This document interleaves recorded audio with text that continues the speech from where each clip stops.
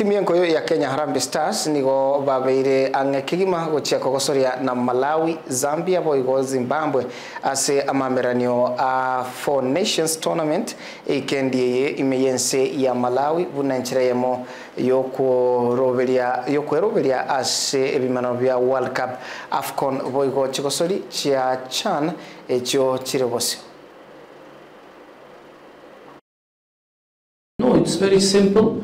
Uh, I tried to make a team where I have really 30 players. And this means if I know a player, for example, I know Duke exactly what he can, what he is, or Elvis Rupia. So I told also these boys directly, like Duke and Elvis, I told them, guys, there are some, some players whom I have to see at the training, the character, whatever, how they fit in. So there are some new players coming, the young players coming in. It's preparation for these upcoming games, and if you want to try and uh, dream of going to these kind of competitions, AFCON and even World Cup, you have to try and go out there and try to compete in, in a foreign soil, you know, where the pressure is also too much, and try to get results. There's a lot of competition in each position, which is always good. It makes everyone's levels go up when you know you're not safe to be in the team. So I've just got to think of myself and, and try and impress the coach every every time I get the chance.